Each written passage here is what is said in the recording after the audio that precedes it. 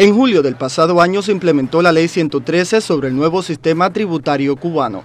Desde entonces, más de mil granmenses han acudido a las oficinas habilitadas aquí para realizar los trámites. Que las figuras que más están llegando a, declarar a, las oficinas de los municipios, de los respectivos municipios, son los contribuyentes que están eh, acogidos o lo mismo al cobrador pagador de impuestos que a los tenedores de libros a decir de los directivos de la UNAT en el territorio, la actual ley tributaria es mucho más amplia si se tiene en cuenta que los contribuyentes pagarán en dependencia de sus ingresos. Pero muchos de los afiliados sostienen criterios como el de esta cuenta propista, toda vez que el número de usuarios aumenta. Ellos nunca me habían exigido a mí que llevara los papeles de, tener todos los papeles de la UNAT. A mí nunca me lo habían dicho, yo no los tenía allí. Y ella lo que tiene que exigirme es que yo los traiga de la casa.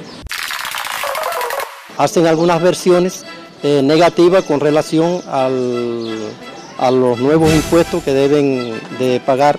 La comprensión de la Ley 113 y su forma de aplicación es vital, sobre todo por quienes deberán cumplir las disposiciones que entraron en vigor.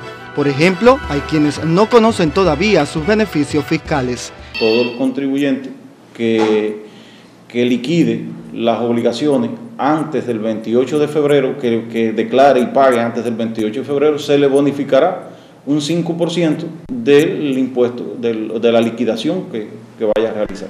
En Granma ya se trazan estrategias para capacitar a los contribuyentes. Yendo a, las secciones sindicales, de, a la sindicalización, haciendo seminarios en los distintos municipios para lograr que se obtenga la cultura tributaria que tanto necesitamos en este momento. Se prevé la introducción de forma gradual de siete nuevos tributos, de los cuales tres ya se aplicaban. Por ejemplo, el de las tierras ociosas, que no tienen fin recaudatorio, sino de estimular las producciones agropecuarias. Mientras, se analizan también los relacionados con las viviendas, el salario y solares infructuosos.